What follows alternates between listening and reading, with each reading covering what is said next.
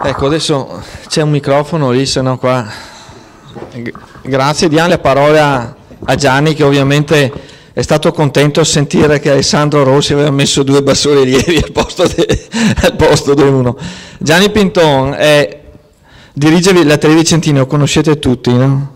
Quando a volte penso al mondo cooperativo, che ha personaggi che dirigono aziende di quelle dimensioni, no, che si difendono con grande imprenditorialità, grande capacità, ma rimangono, come dire, coi piedi per terra, perché a mattina se va a Monza e va.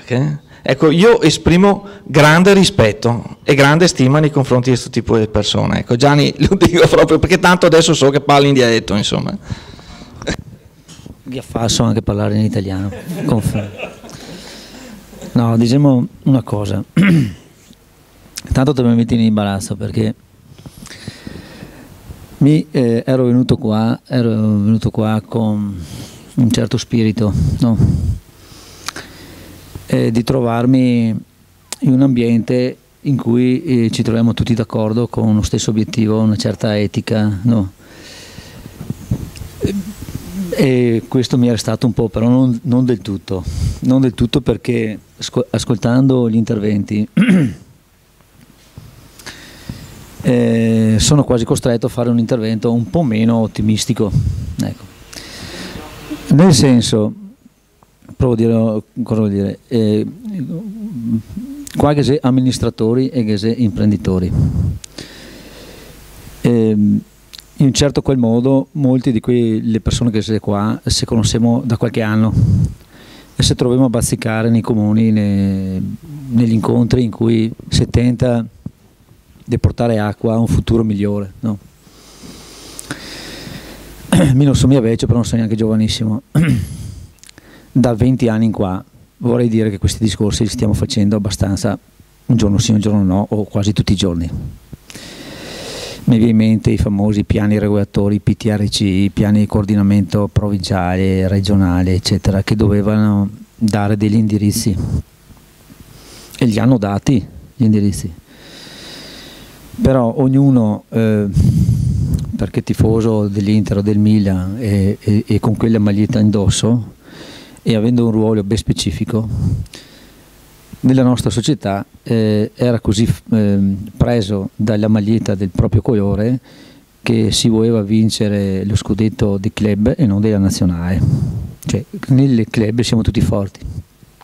Quando ci mettiamo in nazionale, un po' meno, insomma. Cosa voglio dire? voglio dire che eh, la programmazione del territorio con le idee di oggi sono le stesse idee di 20 anni fa. Però in 20 anni abbiamo distrutto tutto con le idee buone. Cioè quando eh, provate a pensare uno che fa una casa nuova e il primo giorno che entra deve ancora mettere i mobili portando tutti gli scatoloni, è un gran casino, no? Dopo una settimana, 15 giorni, un mese che ha tutte le sue cose a posto è una casa ordinatissima. Beh, noi abbiamo fatto dell'Italia questo gran casino. La pianura padana, era il posto più fertile al mondo. L'abbiamo fatta diventare una città. Una città che si poteva fare così, si potevano fare le stesse strade, le stesse, gli stessi edifici, la stessa urbanistica, solo con un ordine un po' diverso. Cioè, eh, se eh, l'ideale del nostro comportamento e è ben chiaro all'inizio, ben condiviso e che se non so, eh, il bel posto, mi, mi, piaceva quel discorso del bel posto, no? che un conto se vivere e lavorare in un brutto posto, un conto se vivere e lavorare in un bel posto. Noi abbiamo fatto di tutto per poter avere un brutto posto. Nel senso che anche oggi, anche adesso, non so, la Valdastico, certo che si può fare la Valdastico, però si può fare bene, si può fare male il progetto che stanno portando avanti adesso è malissimo. Da qua a Vicenza ci sono 30 strade, perché puoi scegliere che strada che vuoi per Tieni, o per, eh, per Villaverla, o per Isola, puoi fare il giro, no? Però tutte quante fatte male. Ne facciamo una nuova sul territorio e progettandola faremo con la riga, senza neanche tener conto dove sono le aziende agricole e dove sono i valori ambientali. L'ospedale di Schio di Sant'Orso è stato l'unico argomento con cui non sono mai stato d'accordo con il nostro sindaco Piero. Siamo d'accordo su tutto, però sull'ospedale no. Avevamo due ospedali, ne facciamo un terzo in una zona che era Campi. Nella zona industriale di Schio, che è grande, ma è grande perché? Perché è stata progettata negli anni 70 in cui abbiamo copiato cosa facevano gli americani a Los Angeles. Cioè abbiamo fatto capannoni su grandi spazi, non abbiamo mica copiato il, le, le, il Rossi che aveva fatto la fabbrica alta su poco spazio, perché nel 1800 Ange, eh, Alessandro Rossi ha fatto un, un, la fabbrica alta e è riuscito a fare in maniera che la fabbrica alta, mettendo le cose al piano sopra, poi scendevano, non occorrevano neanche gli assessori, cascavano per caduta e la fabbrica funzionava. Noi abbiamo fatto tutto al piano terreno, in maniera che i camion possano girare dappertutto Adesso abbiamo la zona industriale più grande d'Europa, eh, abbiamo distrutto quanti milioni di metri quadri. Solo pensando che il valore del territorio era un po' di più di quello che, che si aveva in testa, si poteva fare la stessa zona industriale eh, con un minor spreco. Cioè, voglio dire, possiamo metterci intorno a una tavola e ragionare tutti assieme su cosa fare da adesso in poi, però dobbiamo almeno riuscire a condividere e, e riuscire a a dare il valore giusto alle cose. Quali sono le cose che hanno valore e quali che non sono uh, di particolare valore. Se la salute è, è, valore, se il benessere è valore, se il bel posto è valore, eh, dobbiamo comportarci anche di conseguenza, voglio dire, no? Eh, cioè, l'impressione mia è che ancora una volta venga fuori quel proverbio che andiamo a tentare di chiudere la stalla dopo che i buoi sono scappati. Ma non solo dopo che i buoni sono scappati, ma non abbiamo ancora capito perché sono scappati e come si fa a riportarli indietro. E, cioè, mi diso, eh, il tessile è scappato via da questa zona, il meccanico anche Adesso abbiamo qualche ditta di particolare valore, qualche innovazione, va bene. Adesso si sta uh, tirando fuori l'idea che anche la nostra zona è bella, no, pur avendo distrutto qualcosa di bello. Per fortuna abbiamo la montagna che non sono riusciti a spianarla, no. E, e c'è ancora qualcosa di, agricol- di agricoltura. Poi abbiamo anche dimostrato come agricoltori che anche a Schio che dicevano che non è evocata né per fare il vino né per cosa fare eh, e altre cose da mangiare, abbiamo dimostrato che il vino viene buono lo stesso, anzi abbiamo cominciato a vincere concorsi con etichetta mascherata però, perché se facciamo le etichette che si vedono vince il vino della Toscana o il vino de, de, de, del Friuli, se eh, mascheriamo le etichette e gli esperti lo assaggiano senza capire da dove vengono, allora possiamo vincere anche noi di Schio con la cantina di Maio, no? eh, bisogna far così però, no?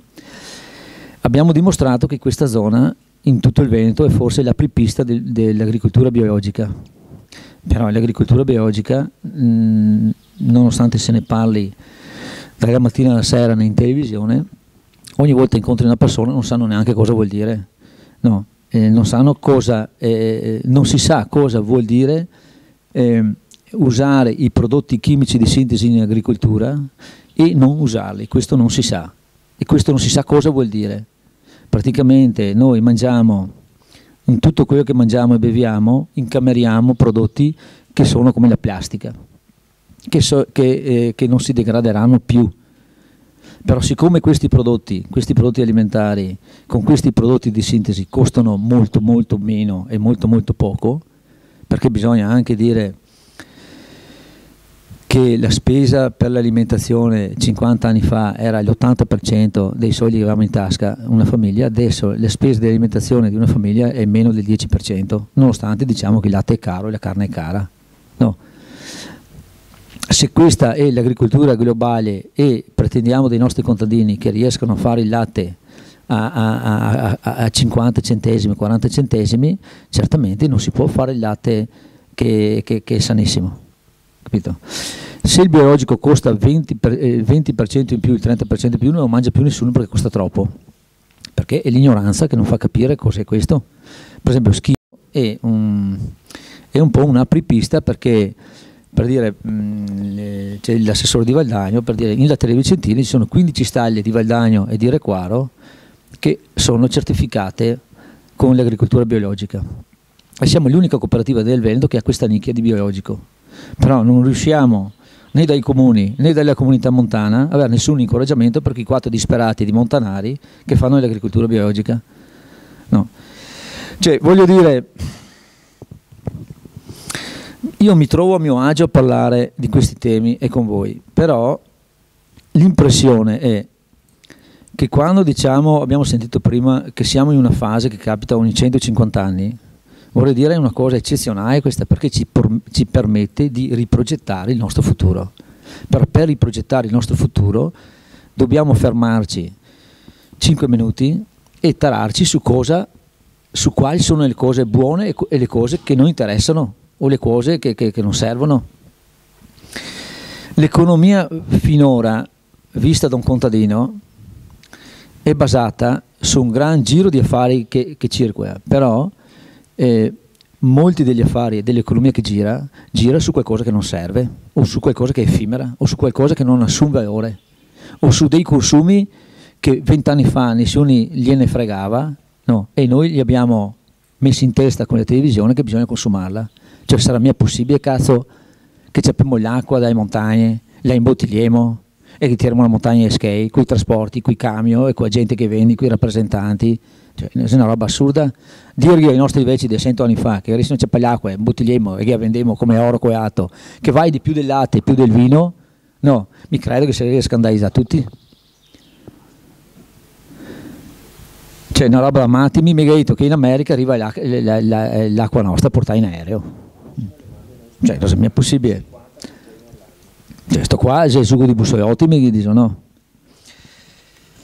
Cioè, eh, queste mie considerazioni, potrei andare avanti fin domani mattina, mh, mm, però per dire, la prima roba è eh, che seguiamo da, non so, seguiamo accorti o no che dobbiamo superare il limite di saturazione del territorio. Lo dobbiamo superare, ma lo dobbiamo superare vent'anni fa e dopo di allora abbiamo fatto su un sacco di casini ancora ma fatto su quei sindaci buoni, quei sindaci bravi, perché la pressione della macchina edilizia, che la macchina edilizia è semplicemente, è come dire, eh, un animale feroce, un, una tigre, che quando che partita non ti affermi più.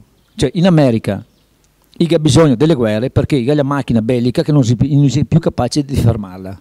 Non si è buoni di, eh, come si dice, di riconvertirla. Noi altri per fortuna lo femo fasino anche armi, forse lo femo in maniera un po' più tenue, però la macchina edilizia, che sono buoni solo a far case e usare solo il cemento, l'ha fatto in maniera che abbiamo costruito dappertutto. E l'importante è costruire. E il paesaggio bello è vedere una casa nuova, è vedere un capannone nuovo, no.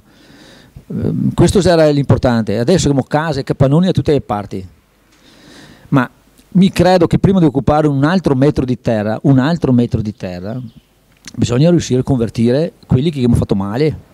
E questo non, se, non siamo mica buoni a farlo, non siamo mica capaci di farlo.